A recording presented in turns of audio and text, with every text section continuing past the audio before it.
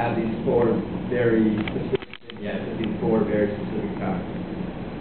Well, it's just it's integral in the um, conception of the film, really.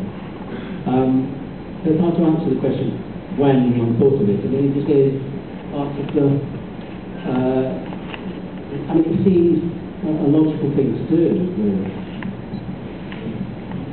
Jim was talking before about sort of going back further and further as characters have gotten older, but I'm wondering, in the process, when do you know, or when do you all know, that it's time to stop, that you've reached the end? Because in a certain way, it almost seems your form could lend itself to, you know, continuing with these characters and seeing what happens the next day and the next. Well, you know, with all due respect, I could ask the same question about any uh, novel, painting, poem, piece of music, or anything.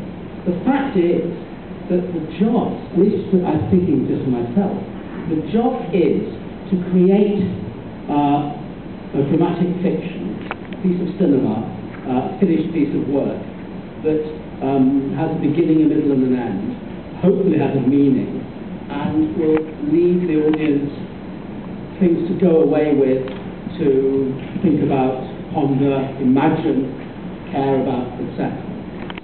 So the process with any creative piece of work is that you know you, you, you, move forward, and as you move forward, you distill and focus down and arrive at that thing which is contained within the final definition, the final frame of the piece of work itself.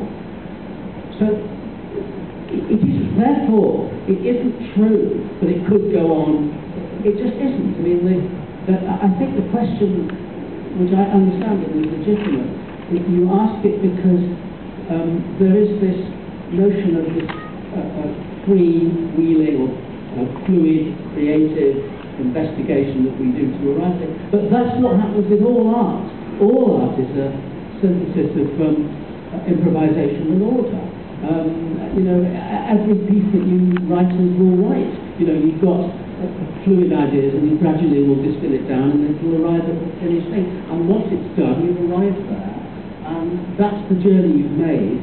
Um, and, and, you, know, the piece of sculpture is there in the middle of the lump of marble, and you don't worry about all, what it could otherwise have been or where all the bits went. Um, so it, it's really, it doesn't arise at all.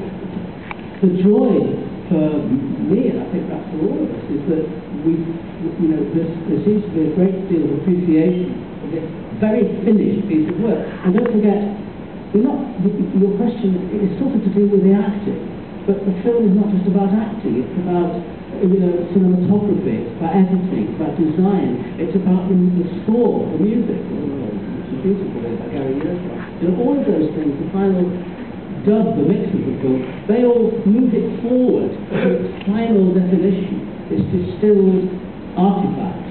And that's the thing that we've been moving towards. So all, all the scaffolding has been removed. And um, what matters is the, the thing that we're left with.